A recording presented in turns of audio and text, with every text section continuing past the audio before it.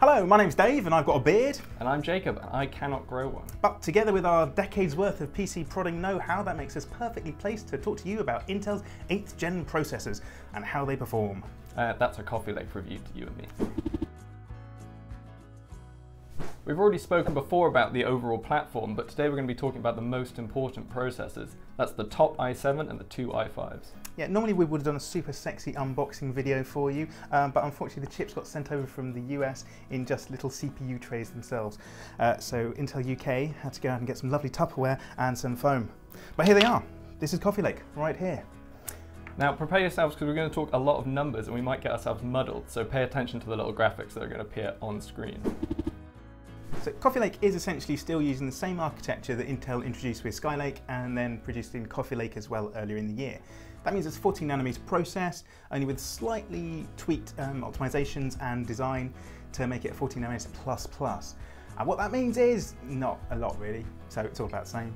Yeah, the Core i7-8700 is Intel's first hexa-core processor, um, and that gives six cores and 12 threads of processing goodness, um, just because of the hyperthreading technology in there. Yeah, and this is the first, this is the real big change from the 7700K. That was a straight quad-core, eight-thread CPU, um, but they've also had to fiddle around with the clock speeds too. Yeah, the base clock is a measly 3.7 gigahertz, um, but it can turbo to 4.7 on a single core, although we've found that it tends to go to about 4.3 gigahertz overall. And then there's the Core i5-8600K. As with all the i5 range, it lacks the hyperthreading that the i7s have, meaning it's just a straight 6-core CPU. Yeah, in terms of um, clock speeds, it's got a base clock of 3.6 gigahertz, um, and that sits around 4.1 gigahertz when all cores are stressed. Um, it's got a single core clock speed of about 4.3 gigahertz. Yeah, and the other notable chip in the i5 Coffee Lake lineup is the 8400. So the 8400 is another straight six shooter from Intel. Uh, it's a Core i5, but it doesn't have the overclocking chops of the K series processors. It runs a base clock of 2.8 gigahertz and all cores at about 3.8 gigahertz.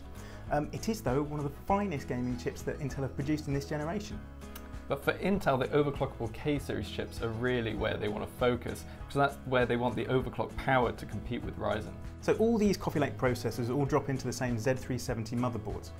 And that's because there are no budget chipsets getting launched right now, they're coming later in the year, and there's also no backwards compatibility with 100 or 200 series motherboards, for reasons that I'll growl about later.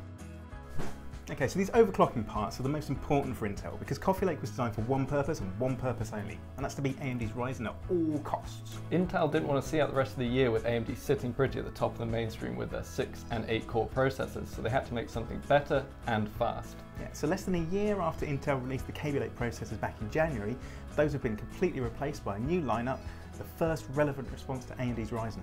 Yeah, us gamers can pretty much ignore the willy-waving antics of the server-side Threadripper and Core X series. So what can us gamers expect from these two extra cores? Not a great deal when it comes to the hyper-threaded i7. Yeah, so the 6-core Coffee Lake um, performs almost identically to the quad-core Kaby Lake i7 and both the Coffee Lake i5s. Yeah, so this is the first generation that I can remember where there's near as damn it no performance difference between the Core i5 and the Core i7 in this range. Yeah, seriously gamers, just get the i5. So Intel's historic gaming performance is very much in evidence again with Coffee Lake, giving it a frame rate lead over all the AMD Ryzen chips. Now that gap is decreasing as more and more DirectX 12 and Vulkan games get released. For more CPU specific stuff like rendering and video editing, however, the higher thread count definitely matters. But when you come to overclock Coffee Lake though, even the more thread-happy Ryzen chips are in trouble. Yeah, both are i7 and i5 top 5 GHz, and at that speed, the Intel chips definitely had the advantage. So the whole point of Intel's Coffee Lake was to beat Ryzen, and in that they've succeeded. The overclocked Core i7 beats the 1800X, and the Core i5 beats the 1600X. But it has come at a cost. Yeah, so Intel pulled in the release date for this to get them out this year. Unfortunately, that means we've only got the Z370 high-end boards at launch. Yeah, the H370 and the B360 are coming next year, rendering the new Core i3, which is the first quad-core i3 that Intel have produced, is going to be almost irrelevant until they launch. There's no point spending big on a high-end board and pairing it with a budget CPU like an i3. You might as well just wait until the X-Core i5 and you have a bit more extra cash. Unfortunately, Intel have also nixed backward chip compatibility too. Yeah, you can't use Coffee Lake in 100 or 200 series motherboards, and Intel claim that's due to a new power delivery system that means they get the extra juice they need to run the extra cores. We do think you could probably use a Z270 with a hexa-core processor at stock speeds and it would run just fine. But unfortunately you can't use a Z270. Um, I think the real reason that this is in place is because they need the extra power that only overclocking can deliver to absolutely guarantee they beat Ryzen. And that's something the Z270 boards couldn't deliver. So it's all AMD's fault then? Yeah. But in the end then, Intel have created some great little processors in the Coffee Lake range. Uh, for us gamers, however, the Core i7 is probably a bit too expensive and doesn't have the extra gaming oomph that would make it a really a worthwhile purchase. The Core i5s though are monsters. Yeah, the straight 8400 delivers better gaming performance than the similarly priced 12-threaded Ryzen 1600X, uh, so if you're just after a straight gaming chip, then that gives you all the speed you need.